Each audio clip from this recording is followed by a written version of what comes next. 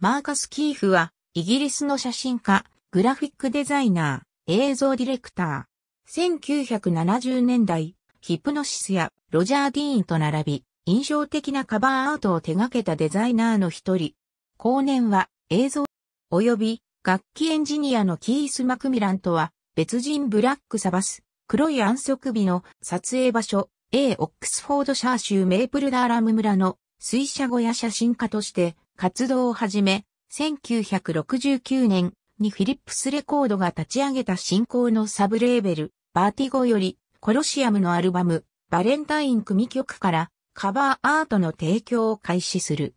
1960年代後半のアルバムアートは、サイケデリックミュージックに影響された、幻覚的デザインが流行していたのもあり、キーフが表現した退廃とも陰鬱とも取れる神秘的フォトグラフは一線を画していた。そのため商業的な判断で差し替えや逆に新採用されたケースがあり、USA 版と UK 版の一部で差異が生じている。その他に、バーティゴ傘下のネペンサや RCA レコード傘下、ネオンといった異色のレーベルも担当したため、プログレッシブ・ロック系やマイナーアーティストの作品が多かった。本人は使用された素材はノンクレジットも含めると1000枚以上は手掛けたと答えている。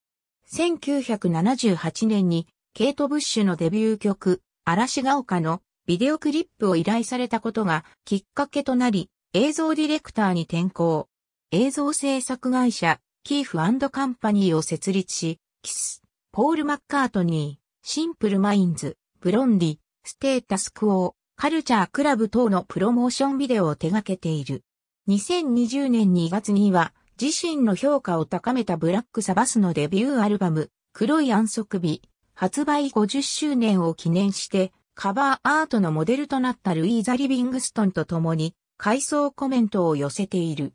作風はいずれも神秘、大敗、陰鬱などを含んだシュールな写真であり、以下のような特徴が挙げられる。アイウェオ準会社名義以外の本人が映像ディレクターを担当した作品のみ。アイウェイを順。ありがとうございます。